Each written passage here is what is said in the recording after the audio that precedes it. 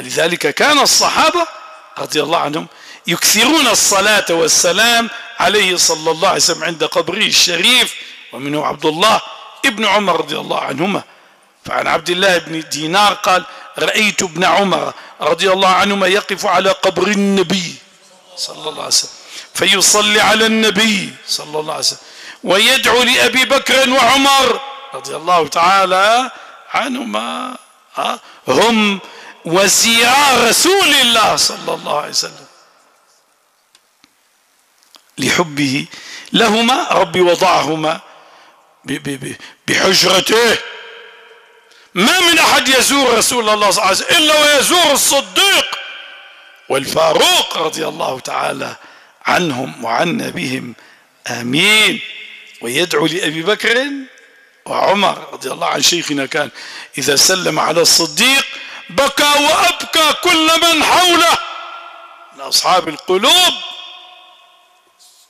عندما يقول يا صاحب رسول الله في الغار سلام عليك يا صاحب رسول الله في الغار ورفيقه في الأسفار يأخذه البكاء.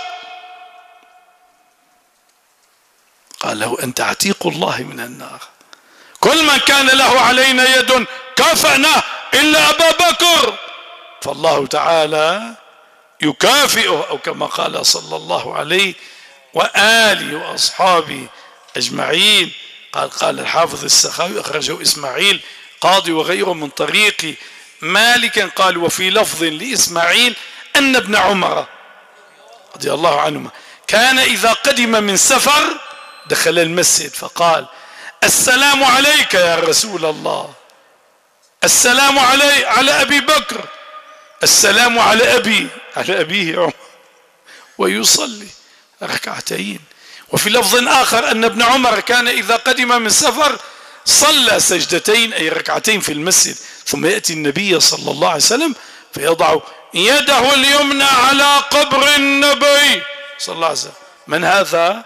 ابن عمر ليس شركا ولا آه ولا وقاحة هذا. ابن عمر يضع يده على قبر النبي صلى الله عليه وسلم إيه؟ ويستدبر القبلة. ثم يسلم على النبي صلى الله عليه وسلم ثم يسلم على أبي بكر وعمر رضي الله عنهما. وفي لفظ لمالك أيضا أن ابن عمر كان إذا أراد سفرا أو قدم من سفر جاء قبر النبي صلى الله عليه وسلم فصلى عليه ودعا ثم انصرف. الله أكبر.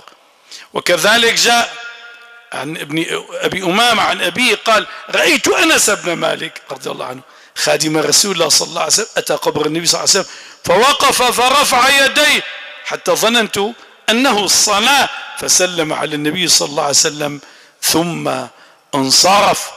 وقال السخاوي رحمه الله عن يزيد ابن أبي سعيد المدني قال ودعت عمر ابن عبد العزيز فقال إن لي إليك حاجة. قال يا أمير المؤمنين كيف ترى حاجتك عندي؟ فقال عمر ابن عبد العزيز إني أراك إذا أتيت المدينة. سترى قبر النبي. صلى الله عليه وسلم اللهم بلغنا ذلك. فأقرئه مني السلام. خرجه ابن أبي الدنيا. وقال حافظ السخاوي أيضا روى البيقي في الشعب عن حاتم بن وردان قال كان عمر ابن عبد العزيز رضي الله عنه يوجه البريد يوجه رجلا على على دابة من الشام قاصدا المدينة ليقرئ النبي صلى الله عليه وسلم منه السلام. هكذا كان أسلافنا فلنكن كما كانوا. تاب الله علينا وأصلح الله عز وجل أحوالنا. وروى ابن عساكر في ترجمة سيدنا بلال اسمعوا إلى هذه الحادثة آه، حضروا قلوبكم لسماع هذا. في ترجمة سيدنا بلال رضي الله عنه بإسنادين وكذا شيخ الإسلام مجد الدين الفيروز أمادي في الصلاة والبشر بإسناد أيضا عن أم الدرداء رضي الله عنها قالت لما رحل عمر بن الخطاب رضي الله عنه من فتح بيت المقدس فصار إلى الجابية فسأله بلال سيدنا بلال الحبشي سأله أن يقره في الشام؟ قال له تركني نعم أقيم في الشام. ففعل ذلك. فقال بلال وأخي أبو رويحة الذي آخى بيني وبينه رسول الله صلى الله عليه وسلم. ثم إن بلالا بلال الحبش لما أقام في الشام وأقام أين في الشام؟ في دارية أقام في دارية في الشام سيدنا بلال. ثم إن بلالا رأى في منامه النبي صلى الله عليه وسلم وهو يقول ما هذه الجفوة يا بلال؟ أما آن لك أن تزورني يا بلال؟ فانتبه حزينا وجلا خائفا فركب وقصد المدينة. سيدنا بلال الحبشي فأتى قبر النبي صلى الله عليه وسلم فجعل يبكي ويمرغ وجهه عليه.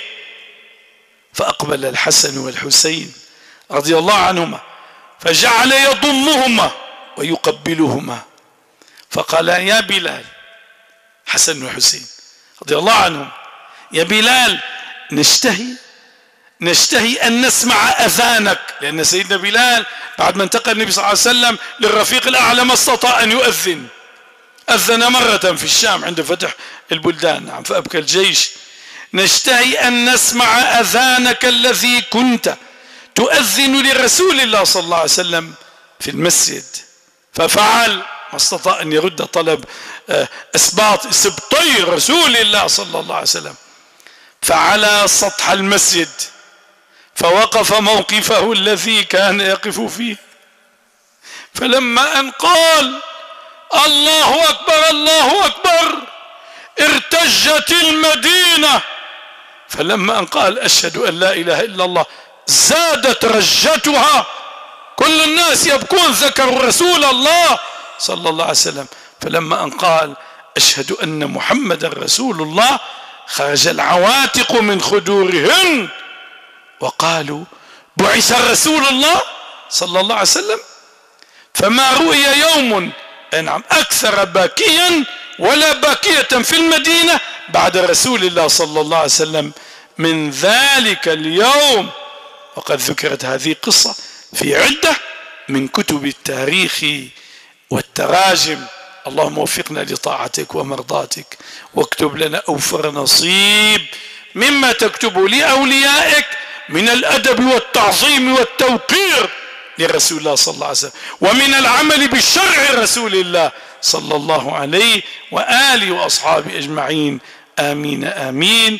والحمد لله رب العالمين.